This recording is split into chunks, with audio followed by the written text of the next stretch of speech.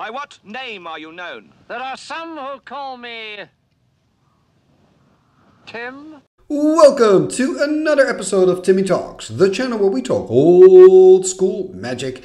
And in today's episode, I have the second game for you from my ODOL campaign. Uh, I played, I play, I should say, my Timmy's Spellbook deck in this tournament. For the people that don't know, ODOL stands for Online Dutch Old School League. It's quite nice. If you want to know more about it, check the description below. There you will find a link to the event, to the Facebook page of the event. Um, what else is there to say? My opponent, of course, I'm playing against a strong opponent. He comes from Germany. His name is Florian, and he's actually playing with one of his favorite decks, robots. So I'm in for a serious battle here. Now, before I go to the deck tech, just want to point out that you can check the description below. There you will find timestamps. One of those will be named MTG Games. Click on there, and that will take you straight to the actual action if you want to skip on the deck tech. So um, that's it. I'm now going to start with the deck tech. I'm actually going to just start with my deck, Timmy's Spellbook. Let's take a look. And here we see my deck again. It's still Timmy's Spellbook. This is the deck that I'm playing this ODOL. I'm not really going to go into the deck tech because I've already done that uh, in the previous ODOL match. So if you want to know more about this deck, I would advise you to kind of go back there and you can see a whole deck deck. Um, it is monocolored. And when I'm thinking about my opponent, my opponent's playing with robots. And obviously, the difficulty here is because my deck is also pretty artifact heavy. Um, how am I going to deal with the big and the problematic artifacts of my opponent? Now, I don't have any steel artifacts in my sideboard. I have Hurkyl's Recall in my sideboard, so that could be a, a solution. But remember, Hurkyl's Recall, of course, is terrible to play against a Trike or uh, even against a Tetravus, you know, because they can just recast them.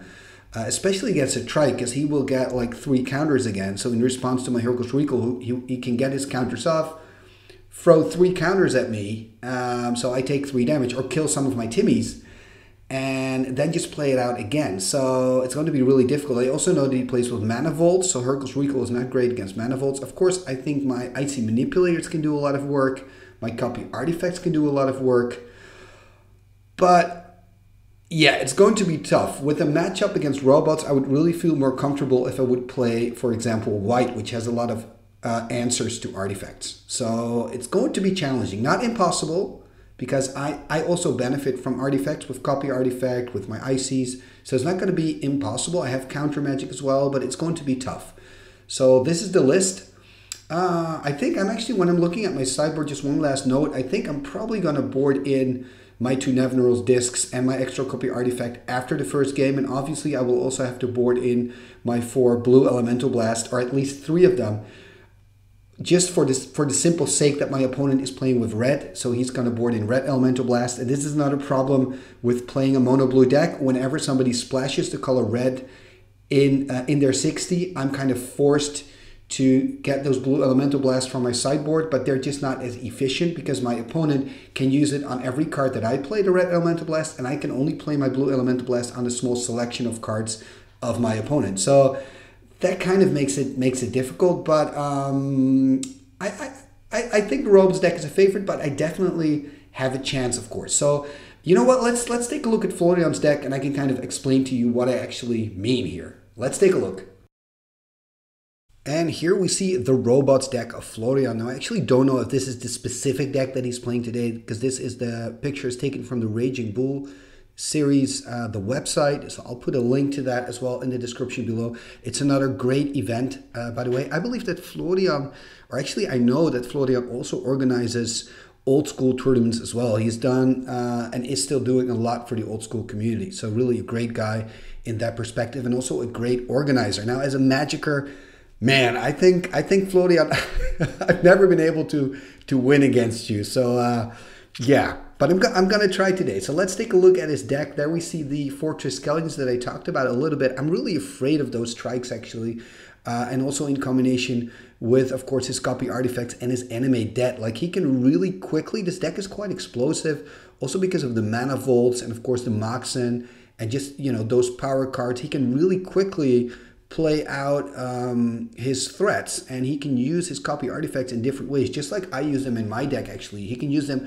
to copy a mox copy a Mana Vault you know copy a Sol Ring but he can also use it to copy a factory uh, and later in the game or in turn three who knows how quickly he gets a trike out he can use it to start copying trikes um, he has that one copy of Tetravus, which works really well with Sage of Lat-Nam. He has that single Atog in the deck, which I think is a great addition. Now, again, I don't know if he changed this because this is a deck picture of another tournament, but I do know he's playing with robots again, so it's going to be similar to this.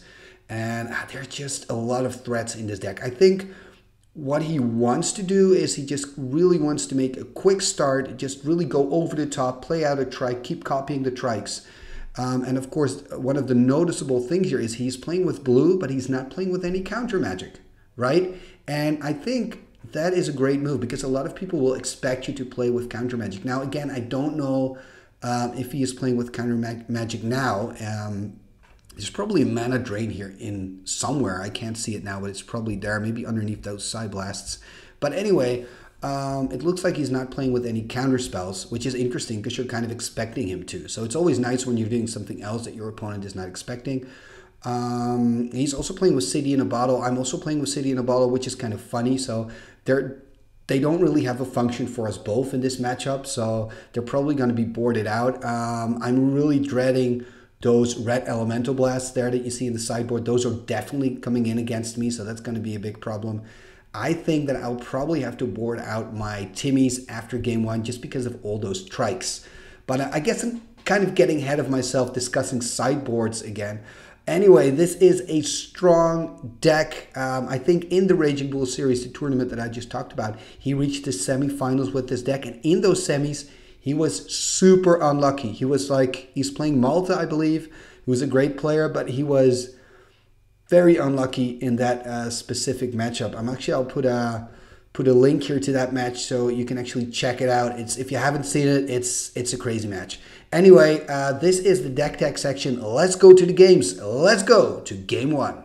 Game number one. I'm sitting on the left. Left. My opponent Florian is sitting on the right.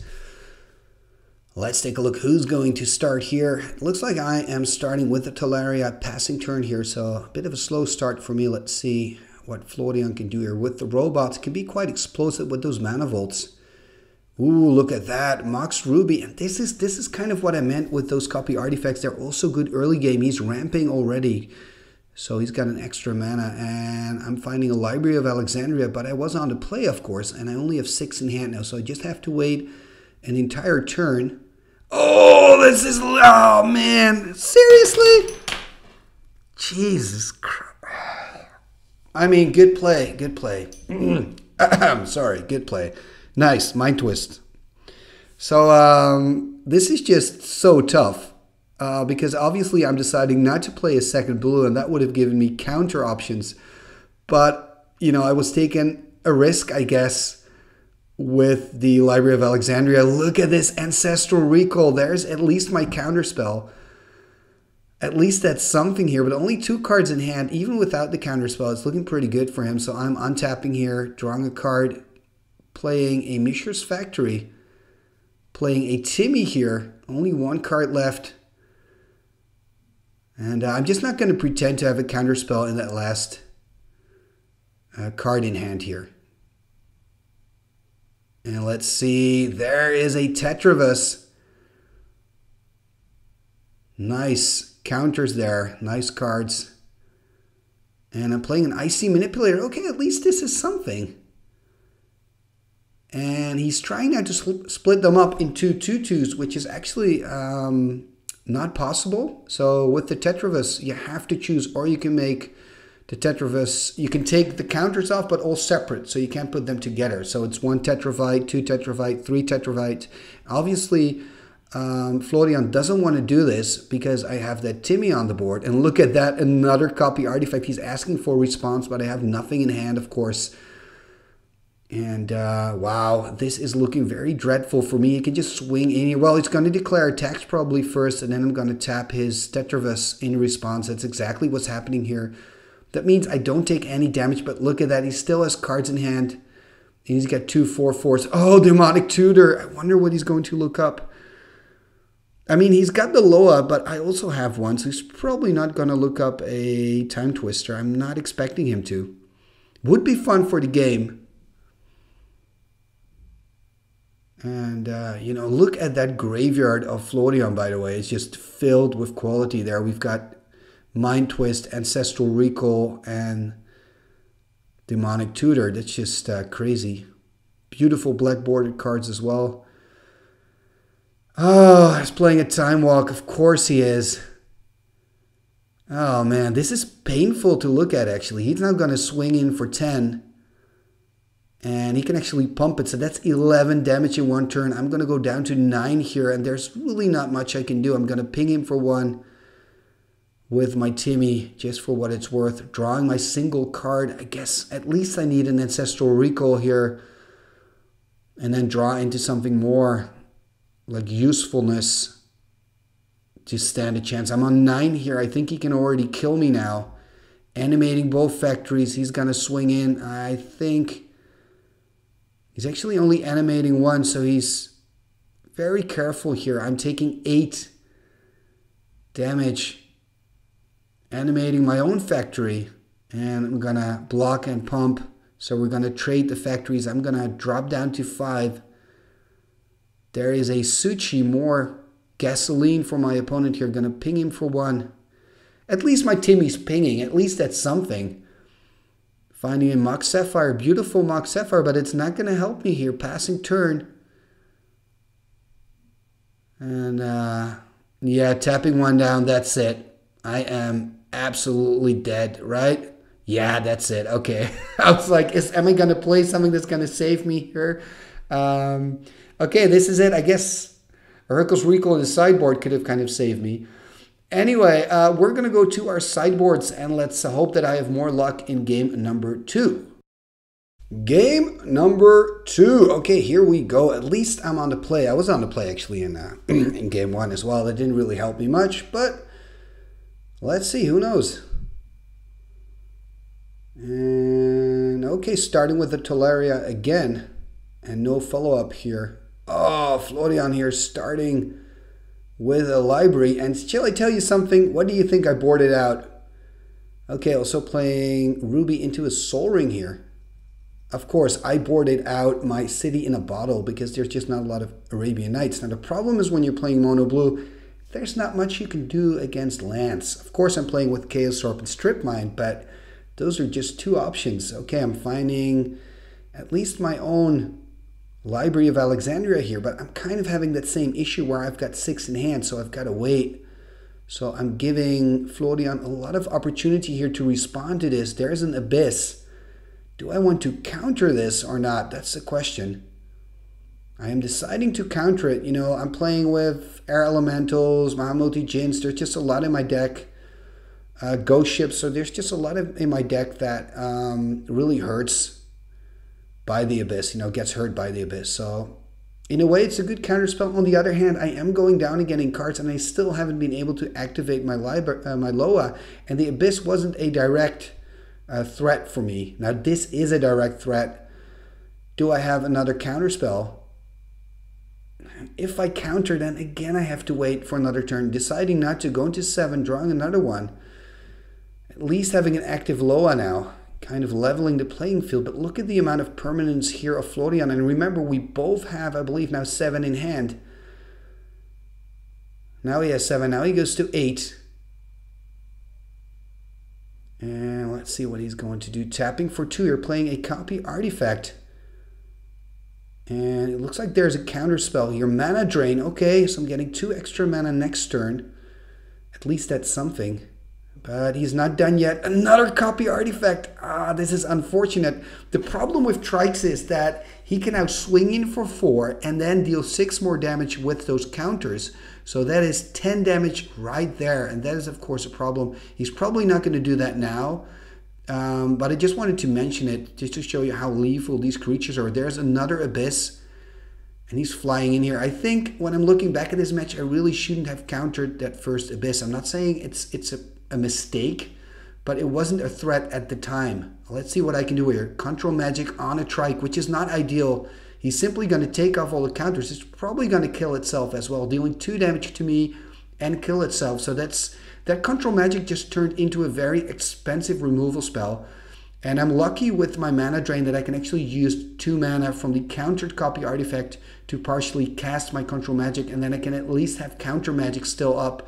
Luckily, Florian is um, courteous enough, I think that's the word, to allow me to change that because I made a little misplay there. So thank you, Florian, for that. Playing a mana vault here. What is he gonna do? I mean, he can animate his two Mishra's factories and swing in here with the trike dealing 8 damage. Activating one of the factories, going to swing in here for 6. He can pump it, so he's going to deal 7. I'm going to drop down to 7. And let's see, is he... Oh, no, psych... No, shit, no, I'm on 3. Count... Uh, oh. Okay, so just to recap, a moment ago I was still on what 14 or something, and what happened here? He swung in for seven. I went down to seven life. Then he played a side Psyblast for four, so I went down to three, and then he used his Triskelion for the last three points of power, so, uh, last three points of damage. So he just dealt 14 damage in one turn without needing a time walk or anything.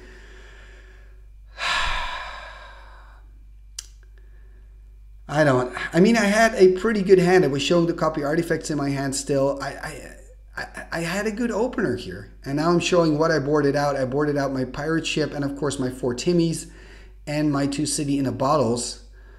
Um, because those Timmies are just, they're great creatures, of course, but they're not useful when you're playing against Triskelion. So I boarded in an extra copy artifact, and I believe I boarded in uh, maybe four blue elemental blasts. I'm not sure. I copied in, uh, I boarded in the um, Nevinyrral's Disks, and I kind of went a little disco boat here by boarding in two extra ghost ships. That means I was playing with a full playset of ghost ships. Anyway, it's all um, water under the bridge. Oh, look at this. I didn't even board in any blue elemental blasts. I decided not to go that route. Uh, instead, going to play with more control magics and kind of that disco boat. I wanted to surprise him with that. Oh, but uh, Florian, man, you really earned this victory. Well done. Uh, this was obviously the better deck in this matchup. And uh, thank you for the games. After this game, we also played a third game. We had some fun. I believe that uh, Florian also ended up winning uh, the group that I was a part of. So congratulations as well. Um, if you uh, would like to support the channel, I know it's a bit of a short vid today, but it is what it is. I mean, I got I got beaten with 2-0. There's nothing I can do about it. Let me actually know in the comments below when is the last time that you got your ass kicked like this. I mean, this was pretty brutal. Let me know in the comments. Would love to hear from you. Um, also, if you want to support the channel, you can do that by leaving a like, becoming a subscriber. That all helps, and sharing this on your socials. Maybe I actually don't want you to share this one on your socials, but you know what? Go ahead, do it. I don't care. Um, you can also support the channel uh, by becoming a sponsor of the show. So you can become a patron, and you can do that by uh, visiting my Patreon page. There's probably a link popping up right now. Click on there go over to my Patreon and uh, and check it out. Just have a look. We've got quite a nice uh, few things going on. We've got our own little tournaments. We've got uh, a Discord. Uh, we have uh, quizzes and all sorts of stuff. Um, if you want, you can kick my ass. You know, you can play against me. Uh, check it out if you're interested. Talking about um, patrons, Patreon, talking about channel members, let's take a look at the end scroll and let's look at the amazing, fantastic patrons and channel members of Timmy Talks.